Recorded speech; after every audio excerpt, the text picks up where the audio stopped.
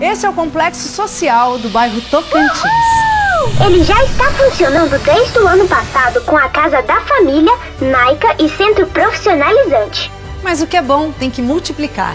Por isso, a Prefeitura de Uberlândia está entregando o Complexo Social do Maravilha, um lugar onde nossas crianças e jovens terão acesso a uma série de atividades educacionais e esportivas, inclusive com pista de skate. Aqui, nossa juventude terá cursos profissionalizantes e nossos idosos vão exercitar e se divertir. Complexo Social do bairro Maravilha. Ela não é uma maravilha. Prefeitura de Uberlândia. Fazer mais. Fazer bem.